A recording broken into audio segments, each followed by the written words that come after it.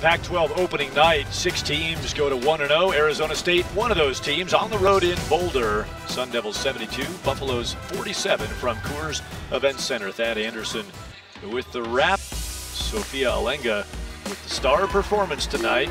The junior from France hit her first seven shots, ended up seven of eight from the floor with only a late miss in garbage time.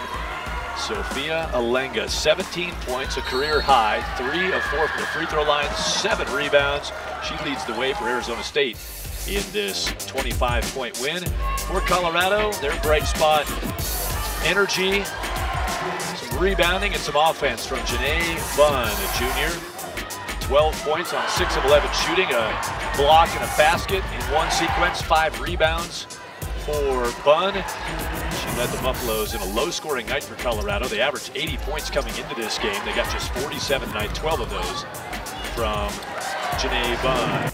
Arizona State dominates on the road tonight, out shooting the Buffaloes by 9%, rebounding a plus 10 for Arizona State against a Colorado team that was averaging a plus 11 in rebounding into tonight. Bench points lopsided toward Arizona State, and those points off turnovers across the board. Arizona State, a convincing win in Boulder. Sun Devils 1 0. Colorado will try again on, on Sunday against Arizona.